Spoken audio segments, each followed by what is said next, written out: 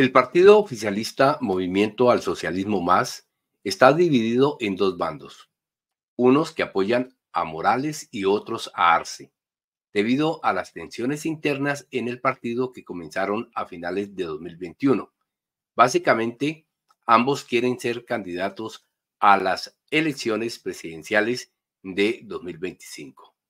Luis Arce tiene el control del aparato del Estado,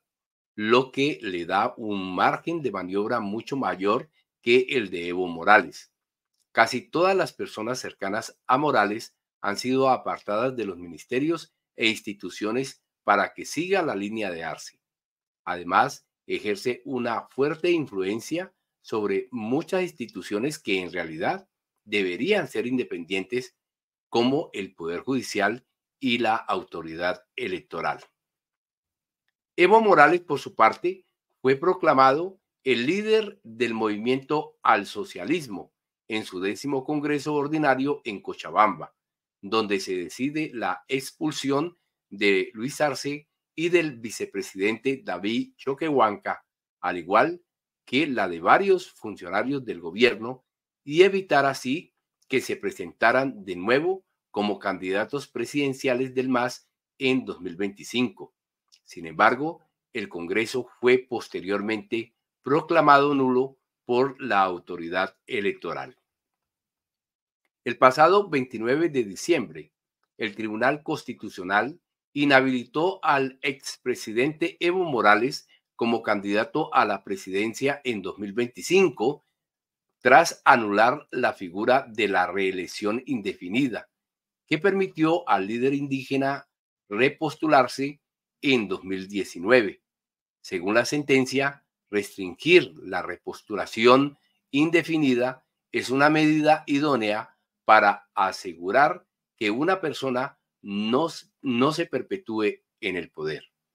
La decisión del tribunal revierte otra adoptada en 2017 por esa misma instancia, que había considerado la reelección como un derecho humano. Para, para analizar este tema, hemos invitado al doctor Gabriel Villalba Pérez, abogado y analista político, director del Centro de Estudios Geopolíticos CENAP de Bolivia, titulado de la Universidad Mayor de San Andrés, mención en Derecho Internacional, especializado en Geopolítica por la Unidad de Posgrado de la Universidad Nacional Autónoma de México, UNAM, posgrado en Comunicación Estratégica y Gestión de la Comunicación. Doctor Villalba, de antemano, muchas gracias por haber concedido y aceptado esta entrevista y bienvenido a nuestra emisión. Buenas tardes, doctor Gabriel Villalba, bienvenido. Muy buenas tardes, querido Hugo, un gusto compartir con usted. Eh, muchísimas gracias por la invitación a este prestigioso programa para poder llegar a más allá de las fronteras del Estado plurinacional de Bolivia, eh, llegar a Colombia, Ecuador, a Venezuela, a toda la patria grande, que sin lugar a dudas está álgida de conocer lo que está aconteciendo desde el Estado plurinacional de Bolivia con esta disputa que eh, muy bien la has resumido con relación al movimiento al socialismo, la organización política en ejercicio del poder eh, desde el 2005, fecha en la cual Evo Morales ganó las elecciones, asumiendo el 2006, aquella ruptura del orden constitucional del 2019 con múltiples hechos de intentos entre medio de esas fechas, 2006 a 2019, intentos de golpes, sea por la vía policial, por la vía cívica, eh, por la vía de lo que enfrentamos en Bolivia, por ejemplo, la convulsión incluso militar de aquella denominada media luna por los prefectos en aquel entonces eh, opositores a Evo Morales y finalmente la ruptura del orden constitucional del 2019, ¿no? Es eh, importantísimo hablar de esta álgida coyuntura que estamos aconteciendo en mi país, Bolivia. Pero ¿cuál es ese, ese contexto social y político en el cual se está moviendo esta, esta disputa eh, dentro de, este partido importantísimo de Bolivia, porque es el partido oficialista, ¿no? Sí, a ver, eh, tenemos que entender a cabalidad eh, que Evo Morales desde el 2005 ha transformado la realidad política, social, cultural, los cimientos del entonces Estado republicano boliviano y ha construido el Estado plurinacional a partir de la promulgación de la nueva constitución política del Estado del 2009. Eh, hechos que han costado sin lugar a dudas una eh, una fuerte reacción de aquellos bloques, de aquellos eh, sectores de la sociedad que eh, tenían privilegios, ni siquiera de clase, privilegios de casta en aquella vieja Bolivia republicana, estratificada por aquella pirámide pigmentocrática donde el color de la piel detentaba el origen étnico, racial, detentaba la ocupación en esa pirámide pigmentocrática, ¿no? Mientras más blanca era tu piel, estabas destinado a los cargos de dirigencia eh, financiera, económica, gubernamental, policial, militar del país. Y mientras más cobriza era tu piel, prácticamente estabas predestinado a eh, ser la base de esa pirámide pigmentocrática, ¿no? Todo ese sistema de exclusión altamente colonial, racista, colonialista, lo transformó Evo Morales, siendo el principal, el primer presidente indígena y el principal transformador, el mejor presidente del último tiempo en eh, la política contemporánea boliviana y, por qué no decirla, latinoamericana, ¿no? Evo Morales no solamente enfrentó el golpe de Estado de noviembre del 2019 con aquella autoproclamación de la senadora en aquel entonces, Janine Áñez, sino enfrentó diversos, eh, diversas vicisitudes a lo largo de su mandato desde el 2006, fecha en la cual asume, ganando las elecciones el 2005, enfrentando, por ejemplo, aquel golpe cívico prefectural de la denominada media luna, ¿no? Aquel intento de separatismo, fragmentación de Bolivia. Eh, por otro lado, también sopesó un golpe policial, eh, también sopesó un golpe de colectivos denominados comités cívicos, eh, también aquel enfrentamiento por el TIFNIS, recordemos muy bien que también se intentó articular cierta desestabilización del gobierno de Luis Arce, perdón, de Evo Morales, eh, siendo Luis Arce el ministro de Economía, y que eso, hay que recordarlo. Eh, y claramente se tienen estructuras racistas y clasistas en Bolivia que se pueden entender también en el marco de esta disputa que existe entre Luis Arce Catacora y Evo Morales. Había existido también el racismo y la discriminación al interior de las filas del movimiento al socialismo cuando el propio presidente eh, se dice ser académico, intelectual, eh, guardando distancia y diferenciándose de aquel sujeto constructor eh, del proceso, del denominado proceso de cambio, de aquel sujeto indígena, originario campesino, que es el verdadero propietario y constructor, sujeto transformador de este proceso político y social desarrollado todos estos años, ¿no? Tienes un vocero presidencial que abiertamente ha dicho, yo sé la educación que les he dado a mis hijas, mis hijas escriben en periódicos nacionales e internacionales, y no como el diputado Héctor Arce y su jefe, refiriéndose a Evo Morales, que nos quieren llevar a un lodazal, ¿no? Eh, se nota un clasismo exacerbado dentro de las figuras gubernamentales actuales en contra de un Evo Morales y en contra de eh, pues aquella materialización de aquel sujeto indígena originario campesino personificado por Evo Morales, ¿no? Entonces, cuando tú hacías la eh, referencia de los antecedentes, hay que decirlo, y aprovecho la oportunidad, eh, con relación a la sentencia constitucional 1010, en la cual supuestamente se dice que inhabilita a Evo Morales en función a mm, la anulación supuestamente de este derecho eh, de em, participación política con relación a la reelección eh, continua o discontinua. Pero hay que ser claros y taxativos en esto. Eh, primero, que el Tribunal Constitucional Plurinacional está abiertamente influenciado por el ministro de Justicia, Iván Lima, además abogado de la Conferencia Episcopal Boliviana y ferviente adscrito al Opus Dei de, la facción mm, abiertamente recalcitrante de la Iglesia Católica en el mundo, ¿no? Eh, esta sentencia constitucional 1010 en realidad otorga la tutela a un ciudadano, exfuncionario del el Ministerio de Justicia. Eh, este ciudadano había pedido la tutela y el resguardo de sus derechos con relación a la libertad de expresión eh, si nosotros revisamos la parte resolutiva de la sentencia constitucional 1010 que supuestamente inhabilitaría a Evo Morales, la parte resolutiva, que es lo que se cumple en una sentencia constitucional, eh, pues no refiere en absoluto a Evo Morales. ¿Dónde se menciona Evo Morales y dónde se menciona la repostulación, la reelección? En el ámbito de la parte considerativa, los considerandos que son parte de la sentencia, sí, eh, pero que de mm, contrabando, se podría decir, incorporan eh, pues eh, la, el análisis de esta opinión consultiva desarrollada en instancias de Colombia a la CIDH con relación a la reelección como un derecho humano. Entonces, propiamente aquella sentencia constitucional 1010 no inhabilita a Evo Morales, sino que otorga la tutela sobre libertad de expresión a un ciudadano eh, cualquiera.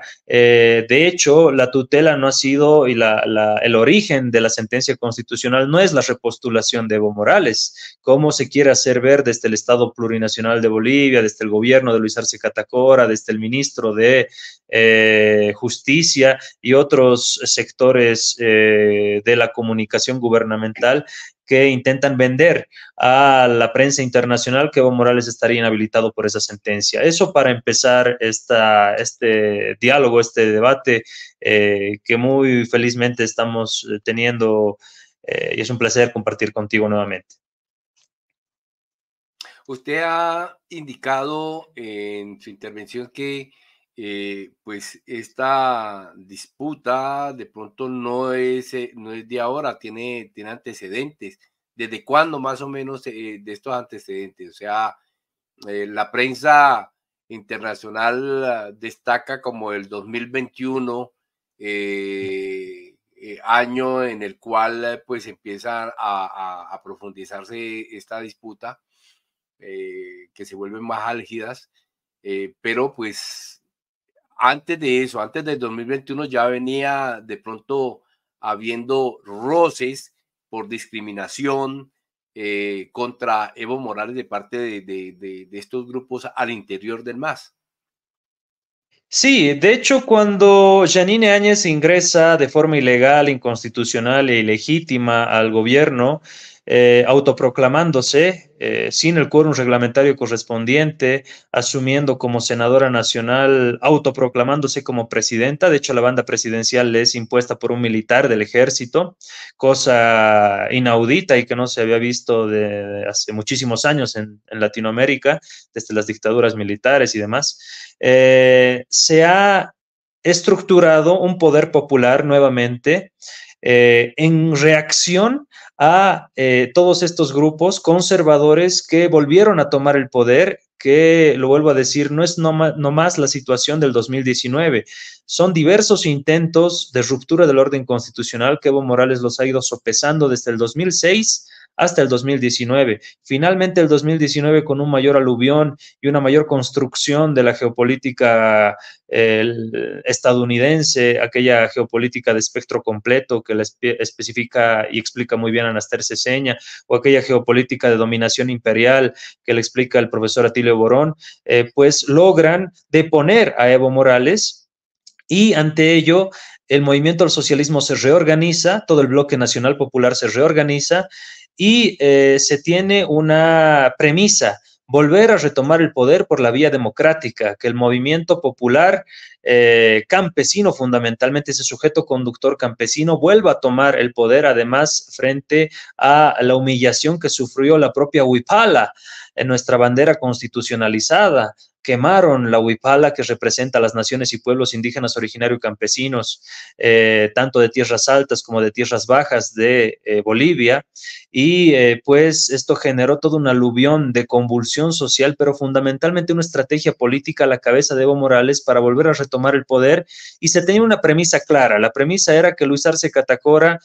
eh, entre en ejercicio al poder juntamente con David Choquehuanca, aquel binomio construido por el estratega Evo Morales, para, eh, por una gestión, retomar la rienda del proceso de cambio. En ningún momento se habló de que eh, Luis Arce Catacora y David Choquehuanca iban a ir por una segunda reelección o repostulación o dos mandatos continuos. Esto se tiene que tener claro, ¿no? La premisa era que retome el movimiento al socialismo, que retome eh, la candidatura de Luis Arce Catacora y, David Choquehuanca las riendas de aquella, de aquella, retomar nuevamente la democracia y que posteriormente vuelva a ingresar por la puerta grande Evo Morales, eh, que había sido sacado por la ventana, ¿no? Utilizando esta metáfora.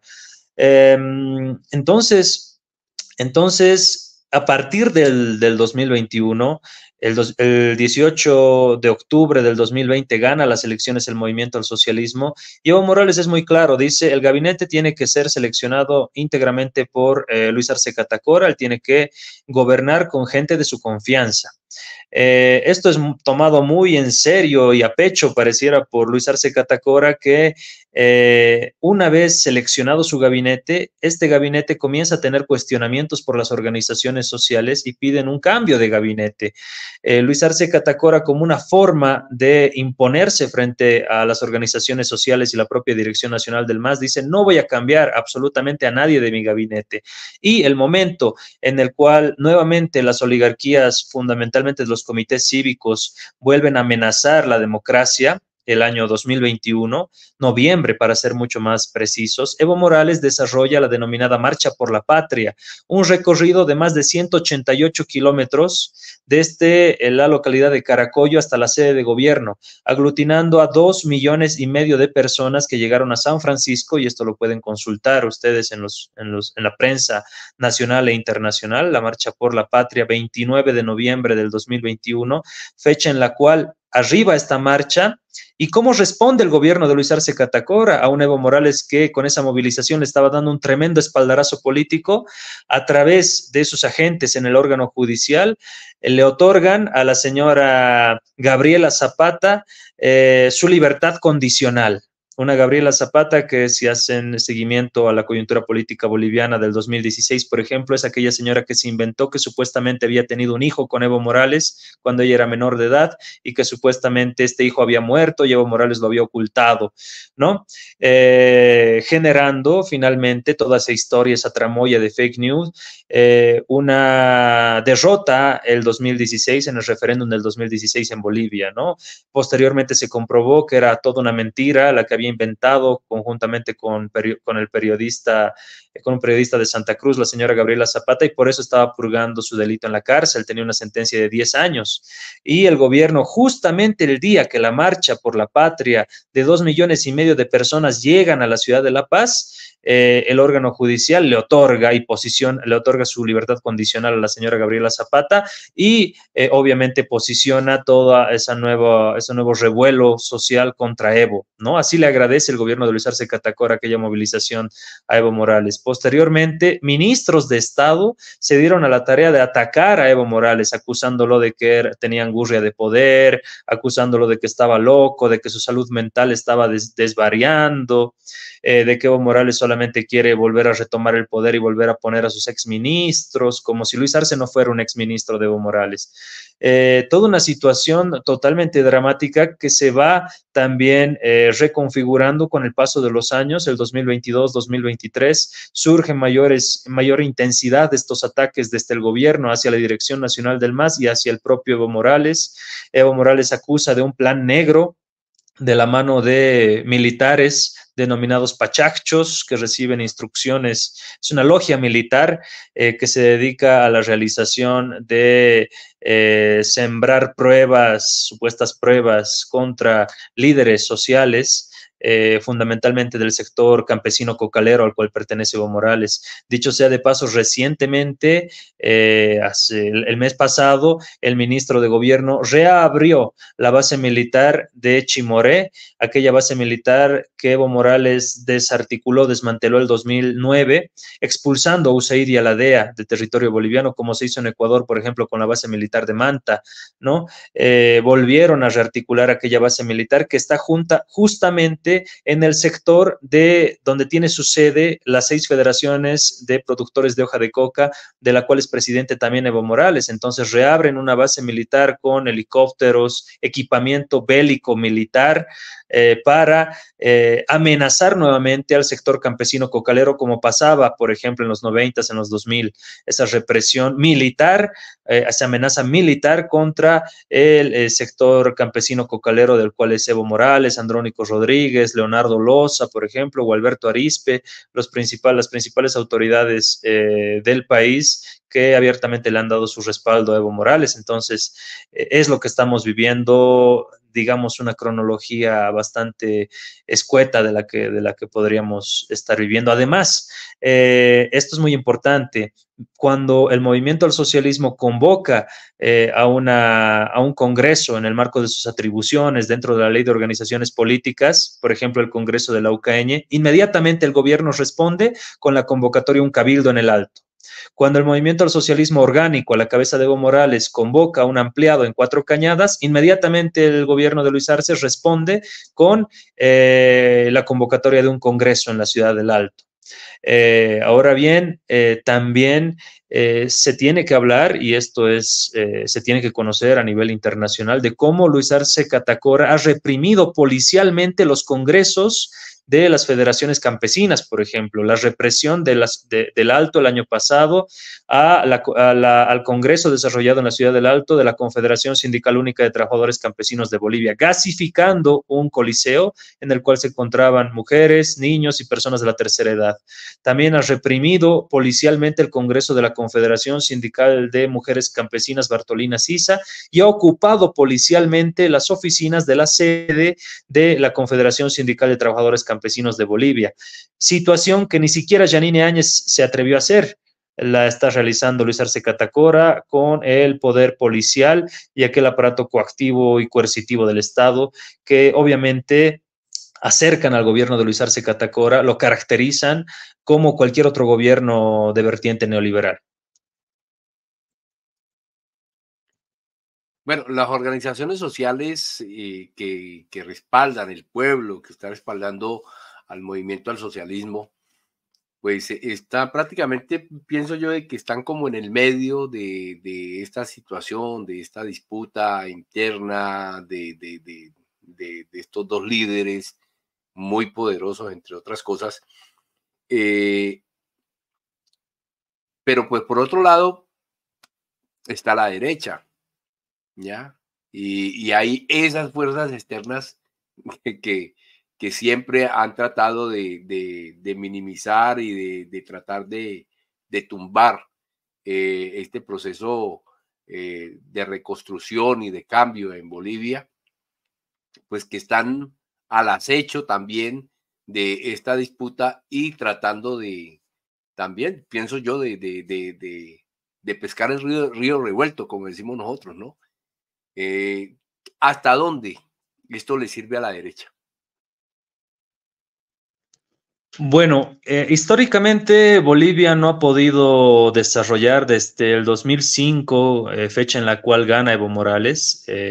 habiendo ganado las elecciones con más del 54%, se somete el 2008 a un referéndum revocatorio eh, y finalmente termina siendo ratificado con más del 64% y paulatinamente después de ese año va ganando las elecciones con un amplio margen eh, con relación a sus inmediatos perseguidores, eh, la derecha, digamos,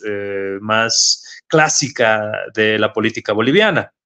Entonces, existe una enfermedad, se podría decir, endémica de la derecha boliviana, que es eh, justamente el ámbito de aquellos individualismos propios de los que se dicen líderes de la derecha boliviana, que no han podido articularse desde aquella fecha hasta tenían la oportunidad del 2019 de generar un solo frente político que le haga, que le haga frente, valga la redundancia, al movimiento al socialismo y no pudieron hacerlo, ¿no? Teniendo el poder, aunque por asalto con Janine Áñez, tampoco pudieron hacerlo. Janine Áñez se presentó por su lado, Carlos Mesa por su lado, otros candidatos por su lado. Eh, muy diferente a lo que, por ejemplo, en determinado momento se hizo en Venezuela con la Mesa o el Polo Democrático, ¿no? Aquella aglutinación de los diferentes opositores al chavismo que eh, en determinado momento también tuvieron su peso político específico. En Bolivia no existe eso. La derecha boliviana actualmente ni siquiera está pudiendo aprovechar eh, esta disputa, esta, esta confrontación de los bloques en, en, discordia del movimiento al socialismo, ¿no? Entonces, tienes una eh, oposición política al movimiento al socialismo, una derecha propiamente dicha, que no puede plantearle una propuesta de país diferente a la del MAS a la población, porque no le entiende todavía, ¿no? Están todavía sumergidos en aquellas viejas lógicas coloniales. El 2019 es la expresión más clara. Eh, cuando toman el poder, reivindican la Biblia, reivindican la tricolor y pisotean la huipala. Se posesionan en el viejo palacio quemado, aquel símbolo arquitectónico de la vieja Bolivia republicana. Reivindican la República de Bolivia en contraposición al Estado plurinacional de Bolivia. Reivindican lo eh, blanco criollo por sobre eh, lo indígena originario campesino, ¿no? Entonces, abiertamente es una oposición que no ha podido tener una lectura cabal de, la, de las grandes transformaciones socioculturales que ha tenido Bolivia en este tiempo y por eso no le pueden plantear una, alternativa eh, respetable a la, ciudadanía boliviana. ¿No? Eh, entendiendo que gran parte de la población eh, boliviana es pues de ascendencia indígena, originaria campesina, sea quechua, aymara, guaraní, de tierras altas, de tierras bajas, ese reconocimiento de la propia indianidad que tenemos los bolivianos, reconocer que por nuestras por nuestras venas corre sangre indígena, que nuestros antepasados, abuelos, padres, eh, circula esa sangre indígena y de la cual debemos estar orgullosos, es algo que no entiende la oposición eh, política al movimiento al socialismo y siguen reivindicando aquella vieja simbología de aquel viejo y obsoleto y ya superado Estado republicano, aquella constitución del 67 por sobre la constitución del 2009. Eso fue todo lo que mostraron en el 2019 con, desde lo simbólico, desde lo comunicacional, desde la administración del Estado. Piensan que el Estado debiera ser su finca privada de intereses personales o familiares, ¿no? Em,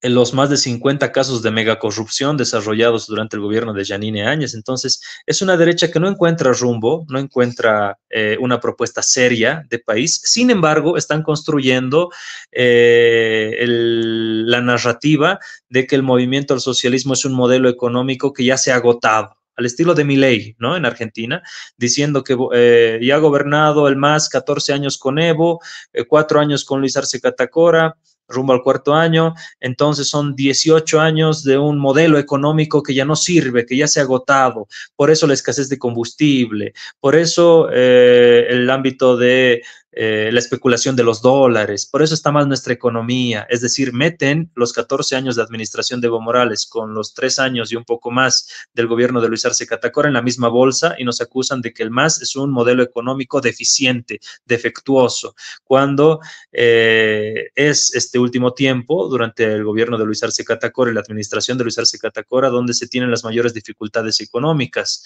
No así durante todo el, tiempo, los 14 años de Evo Morales, que sin lugar a dudas, eh, han sido resaltados por la CEPAL, el BID, el Banco Mundial, instituciones económicas eh, importantes del mundo, como el milagro económico boliviano bajo la administración de Evo Morales, cuyo cimiento, columna vertebral de esa economía es el modelo social comunitario productivo basado en la nacionalización de los hidrocarburos y de, las, y de los recursos estratégicos del pueblo boliviano, ¿no? Entonces, eh, eso con relación a la oposición que tenemos en nuestro país, muy precaria, muy eh, ciega ante la realidad y la lectura política que debieran tener. De hecho, el golpe de Estado del 2019 se gestó no por una articulación de la oposición política al movimiento al socialismo, eh, que también tuvo su rol importante, sino por una articulación de actores externos, fundamentalmente la, Organización de Estados Americanos, que se denomina eh, pues el Ministerio de Colonias de Estados Unidos, ¿no?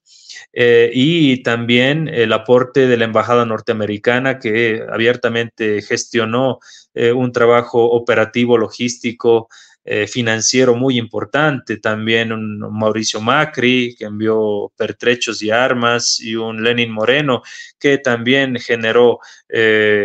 sentidos de apoyo a estos grupos del golpe cívico policial, ¿no? Entonces, no es propiamente una victoria de aquella oposición eh, boliviana y creo que están en una situación perdida en sus disputas personales, la oposición política al movimiento al socialismo, cosa que tampoco debe ser subestimada por el movimiento al socialismo que tiene que resolver esta, esta división, esta discrepancia y esperemos se resuelva de la mejor manera. Bueno, esta, esta situación que se ha presentado, eh, tú has tocado el tema económico, o sea, hasta dónde, eh, hasta dónde está esta disputa ha, perjudicado a, Bolivia en el tema económico, porque pues de todas maneras el, banco, el Banco Mundial en una, en una búsqueda que hice, pues eh, decía de que el gobierno eh, de Arce había hecho una previsión a principios del año pasado de que el crecimiento económico de Bolivia iba a ser de, más del 3%. Sin embargo, pues eh, la realidad es que pues, hubo crecimiento, pero no del 3%, hubo el crecimiento de más del 3%, pero hubo un crecimiento de, del 2,5% o algo así. Eh, que fue, que, era, que fue por debajo de la previsión que tenía el gobierno, ¿no? Entonces, ¿hasta dónde eh, eh, esta, esta situación eh, ha llevado al perjuicio de, económico de Bolivia? ¿O eso es inherente a, esta situación?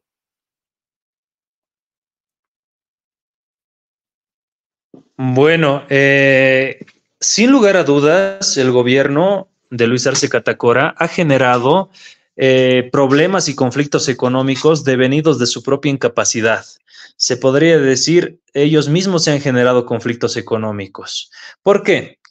Cuando eh, revisamos el ámbito de eh, la única misión que tenía el gobierno de Luis Arce Catacora, retomar la estabilidad económica del país, revisamos que no pudieron suministrar los combustibles eh, y tuvieron que incluso abrir el debate del levantamiento de la subvención de los hidrocarburos. Eh, una situación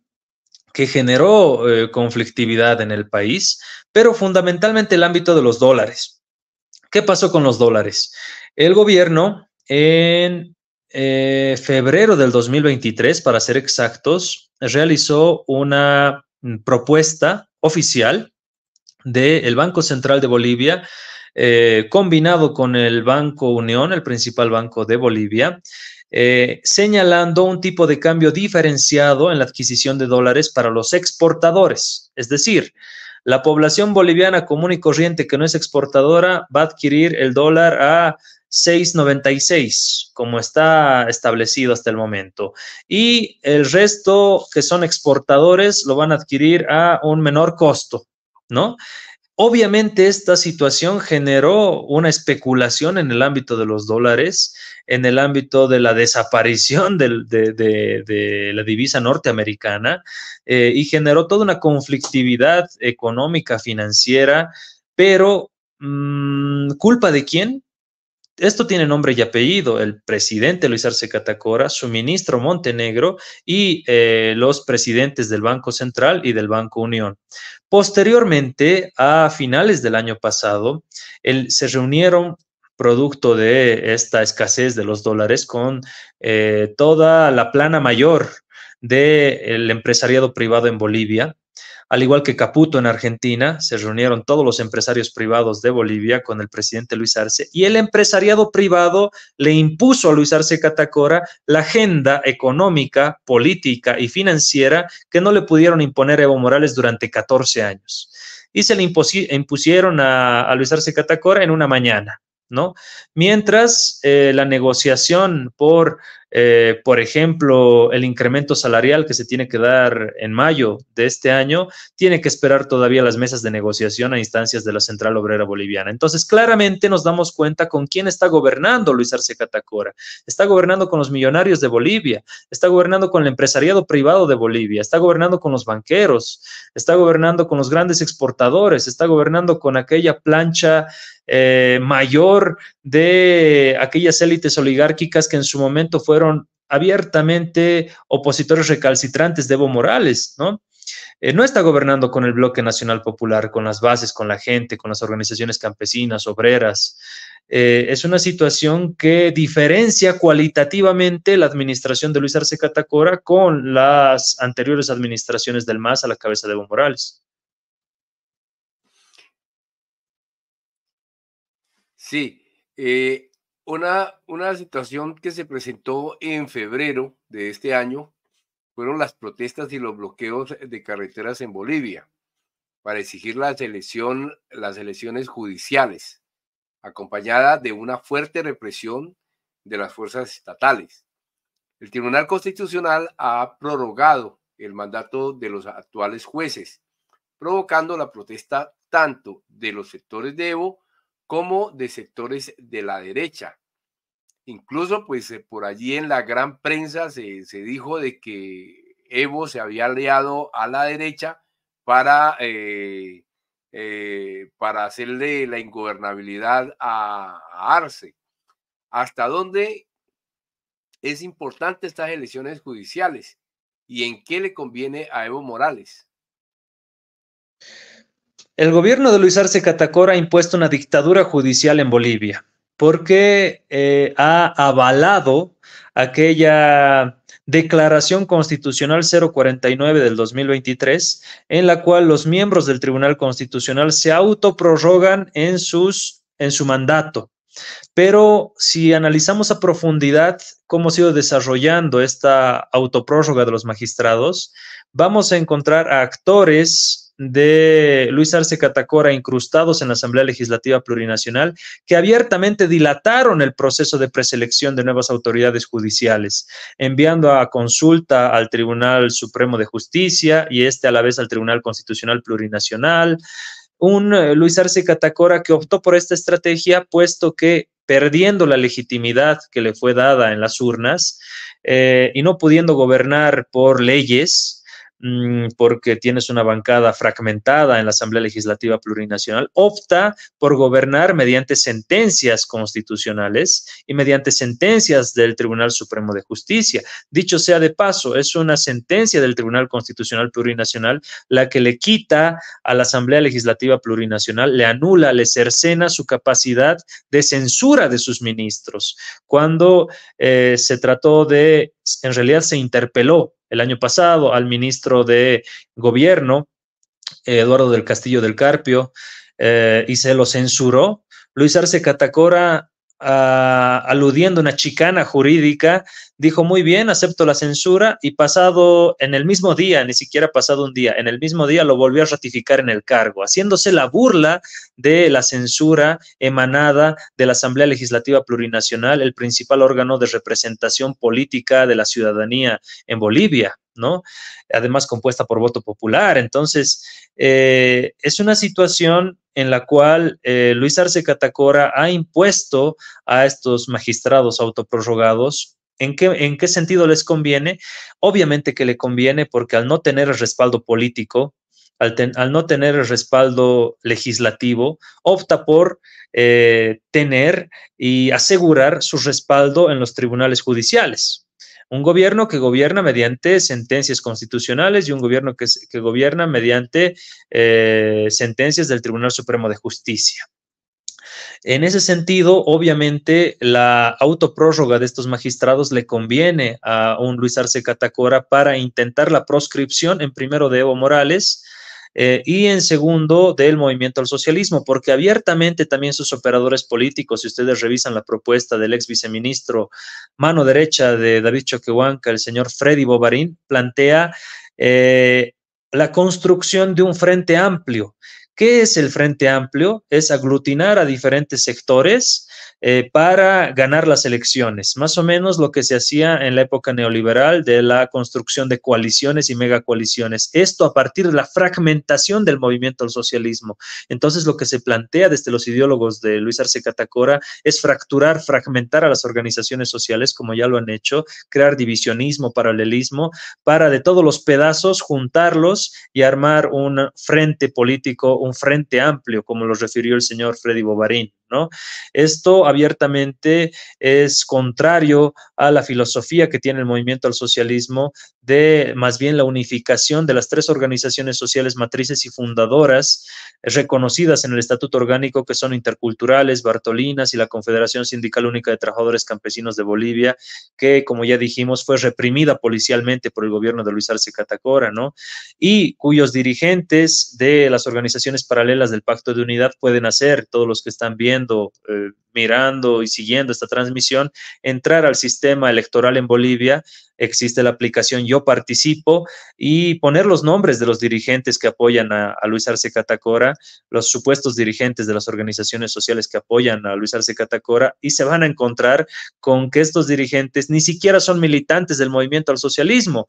Eh, y no solo no son militantes del movimiento al socialismo, sino que ostentan militancia en otros partidos políticos como UCS, Fradepa y otros partidos, ¿no? Entonces, esa es la gente que acompaña a Luis Arce Catacora, obviamente comprada por prebendas, por dádivas, por la propia el propio control y administración del, aparato burocrático, ¿no? Obviamente, Luis Arce Catacora tiene el poder y sería tonto que no lo use, lo está usando, pero la forma en la cual lo está usando y la forma en la cual está dividiendo a las organizaciones sociales y está confrontando al movimiento al socialismo, al no tener una fuerte eh, consolidación, si se quiere, orgánica, es eh, pues y eh, grotesca y llama poderosamente la atención. Ahora bien, si realizamos la comparación, tienes un Evo Morales que no tiene el aparato burocrático, no tiene las dádivas que otorga el Estado, no tiene la administración burocrática estatal y sin embargo le está ganando esta disputa a, Luis Arce Catacora a, a pura convocatoria y a pura musculatura política que deviene de sus propias organizaciones sociales, de la propia gente militante y voluntaria que apoya a Evo Morales y no lo hace por un cargo, por, por eh, una amenaza de despido o porque sea funcionario público, ¿no? Esto se ha demostrado en Yapacaní. Eh, el, el, pasado fin de semana. Entonces, son situaciones que se diferencian cualitativamente se ha denunciado también desde la Dirección Nacional del MAS aquella protección al narcotráfico, aquel sentido de ataques sistemáticos desde los ministros de Luis Arce Catacora y Evo Morales. Eh, es una situación bastante compleja, yo me atrevería a decir análoga a lo que hizo Lenin Moreno con Rafael Correa. Eh, es prácticamente la misma situación la que estamos viendo en Bolivia. Bueno, la prensa internacional ha dicho de que Evo Morales está utilizando como estrategia la ingobernabilidad, ponerle prácticamente tropiezos al gobierno de Arce. Eh, ¿Hasta dónde esto es cierto? En realidad, eh, tras eh, los bloqueos de carreteras que tú muy bien mencionabas para que se vayan los magistrados autoprorrogados, el propio gobierno de Luis Arce Catacora, en las negociaciones desarrolladas en la vicepresidencia del Estado, eh, firmaron un acuerdo el 6 de febrero de este año para viabilizar los proyectos de ley 073 y 075 que finalmente eh, le quitan todo mandato eh, a los magistrados autoprorrogados, es decir, terminan con los magistrados autoprorrogados a partir de leyes como la suspensión de plazos procesales y leyes que van pues para suspender el mandato de los miembros de miembros, perdón, las autoridades judiciales autoprorrogadas que ya no tienen mandato constitucional, no haya fenecido su mandato constitucional. Estas leyes, hasta la fecha, a pesar de que se han negociado en la vicepresidencia del Estado con carácter público, toda la prensa estaba ahí, hasta la fecha, desde el 6 de febrero hasta el día de hoy, no se han tratado en la asamblea. ¿Quién convoca asamblea? La asamblea es la combinación, es la convocatoria de todos los diputados de la Cámara de Diputados y todos los senadores de la Cámara de Senadores. Es decir, la asamblea está compuesta por todos los diputados y todos los senadores. A convocatoria se hace del vicepresidente del Estado, que funge como como presidente nato de la Asamblea. Hasta la fecha, desde el 6 de febrero, no se ha convocado a Asamblea para tratar esos proyectos de ley 073 y 075 que terminan con la autoprórroga de los magistrados. Eh, ¿Esto es culpa de quién? ¿Culpa de Evo Morales? ¿Culpa de la gente? No, tiene nombre y apellido, es culpa del presidente nato de la Asamblea Legislativa Plurinacional, que es el señor David Choquehuanca, vicepresidente de Luis Arce Catacora.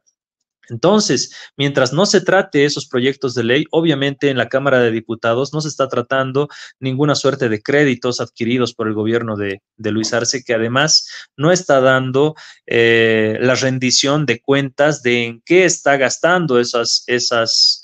esos créditos adquiridos que han sido sancionados por la Asamblea Legislativa Plurinacional y posteriormente promulgados por Luis Arce Catacora, ¿no? Eh, son situaciones que obviamente desde el gobierno se construyen y se venden para la prensa, eh, para los medios hegemónicos de comunicación en Bolivia y del exterior, como que Evo Morales estaría empantanando absolutamente todo, pero no te hablan y no te dicen del compromiso asumido por el mismo vicepresidente del gobierno de Luis Arce Catacora, no te hablan de qué trata el proyecto de ley 073 o 075 y no te hablan de que existe un compromiso gubernamental para que cesen en sus funciones los magistrados autoprorrogados y que hasta la fecha no se trata eh, por el capricho del gobierno de Luis Arce Catacora y David Choquehuanca, ¿no? Entonces, eh, obviamente, para vender comunicacionalmente la narrativa que mejor les conviene, sabemos cómo se manejan los medios de comunicación y en Bolivia particularmente se manejan a partir de la pauta publicitaria, dinero que le otorga el viceministerio de Comunicación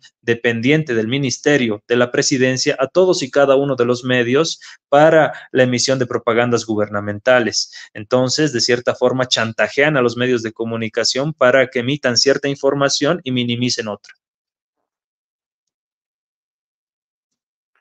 Bueno, ya casi para terminar la entrevista, ¿cuáles serían esos escenarios a los cuales pues se podría acceder o, que podrían intervenir para que esta disputa política se, bueno, se, arregle y que pues tenga un fin, eh, digamos, positivo, tanto para el MAS como también como para el pueblo boliviano. Eh, sin lugar a dudas, ya se han tomado iniciativas en el orden político internacional, ¿no? Recordemos que el movimiento al socialismo es miembro del Grupo de Puebla, eh, un foro de integración política que aglutina las principales fuerzas políticas del continente y del mundo. Eh, en este eh, grupo de Puebla se ha propuesto que se realicen elecciones primarias cerradas, como determina la ley de organizaciones políticas, entre Luis Arce Catacora y Evo Morales, en la cual ambos personajes políticos tendrían que ceder.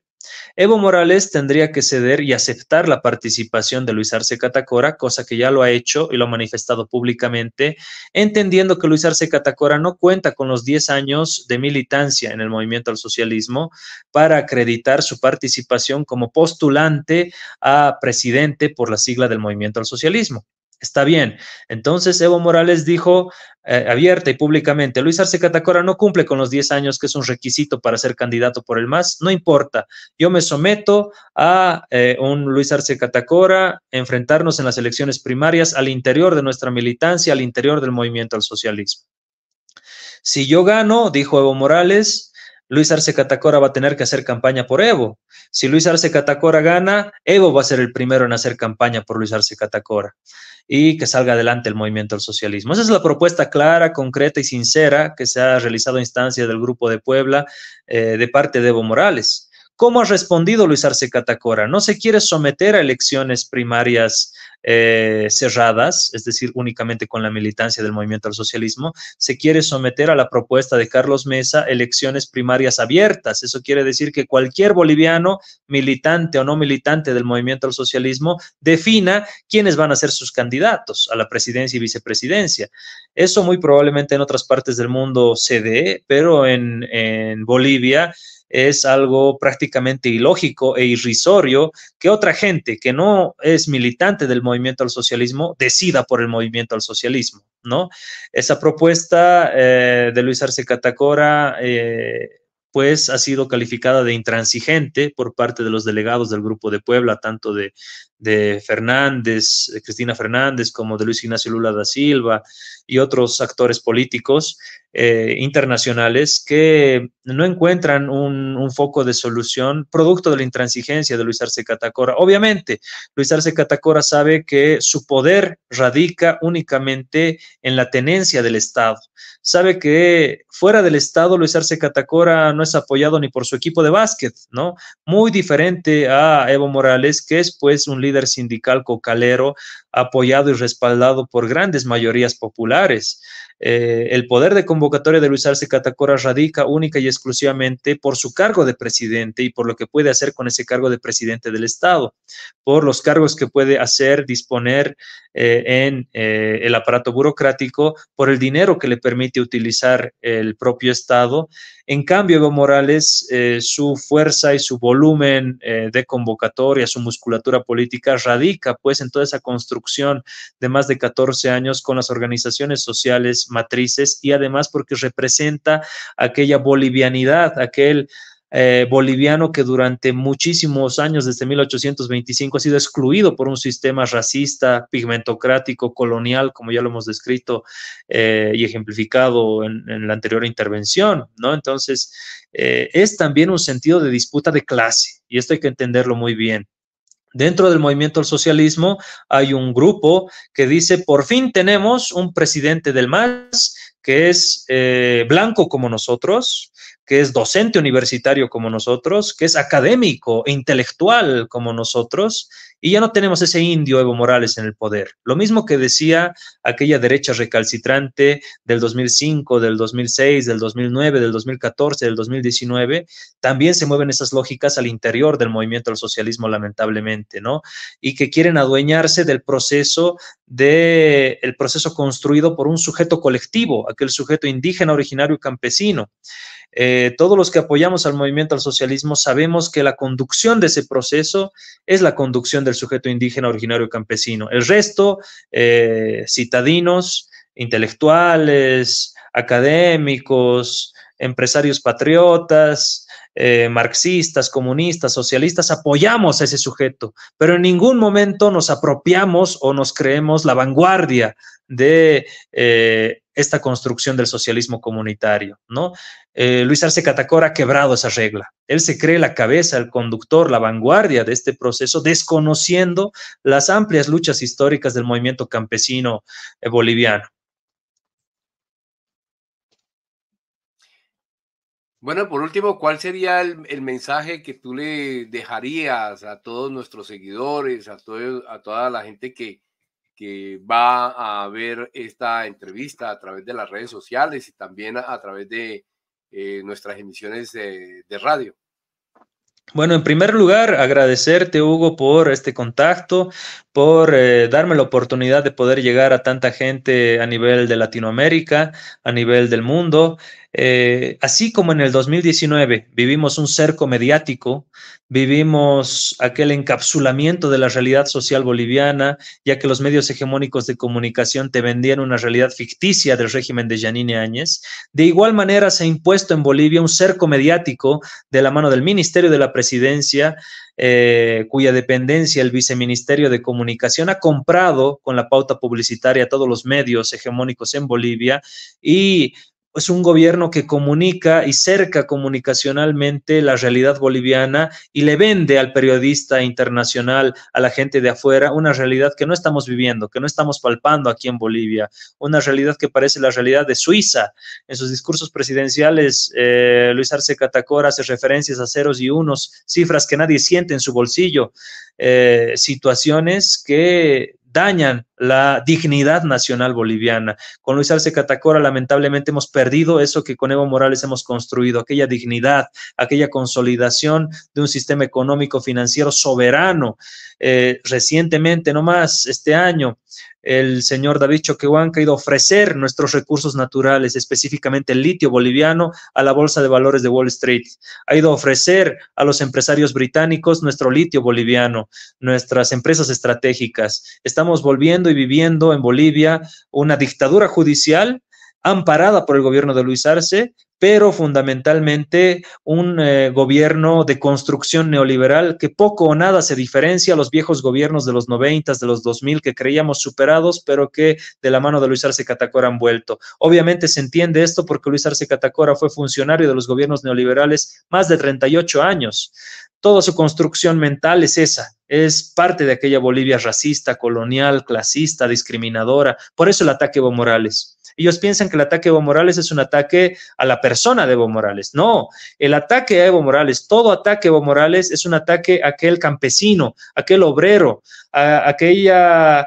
aquel sujeto colectivo indígena originario campesino. Es un ataque y un insulto a toda la bolivianidad, así como pensaron que quemar la huipala con Janine Áñez era un insulto al MAS, y resultó que no era un insulto a todos los bolivianos que nos identificamos como indígenas, que sabemos, creemos y reivindicamos que por nuestra sangre corre, que por nuestras venas corre sangre indígena. De la misma forma, Luis Arce Catacora piensa que atacar a Evo Morales es atacar simplemente a Evo. No, está atacando a todo aquel sujeto indígena originario campesino, aquella construcción del denominado proceso de cambio, aquella, eh, aquel andamiaje de luchas de la marcha por la vida, tierra y territorio del 89-90, de aquella reivindicación de la marcha y de la guerra por el agua del 2000, de la guerra del gas del 2003, de aquel primer presidente indígena, de aquella primera constitución política del Estado del 2009, todo eso que se ha construido de la mano de un Estado plurinacional, ahora se quiere tirar por la borda y se quiere destruir eh, lamentablemente desde adentro. Como lo hizo Lenin Moreno en Ecuador, se quiere hacer lo mismo y bajo los mismos intereses geopolíticos en Bolivia. No lo permitamos y eh, creo que todos los latinoamericanos debemos estar en pie de lucha, en pie de guerra para respaldar a Evo Morales, un líder que no se repite cada 10, cada 20, cada 30, cada 50 años, así como Tupac Katari, como Tupac Amaru, como Bartolina Sisa, estos líderes son del pueblo porque sienten las necesidades del pueblo, no en la teoría, no en los libros, sino en los hechos y en carne propia, y esos son los liderazgos que tenemos que defender. Bueno, doctor Gabriel Villalba Pérez, eh, reitero mis agradecimientos por haber conseguido esta entrevista. Me parece muy importante aclarar toda esta situación que se está presentando en Bolivia y le deseo éxitos en todas sus labores cotidianas y profesionales. Muchísimas gracias, Hugo. Ha sido un placer compartir contigo y a través tuyo con toda la gente que ve y escucha este programa.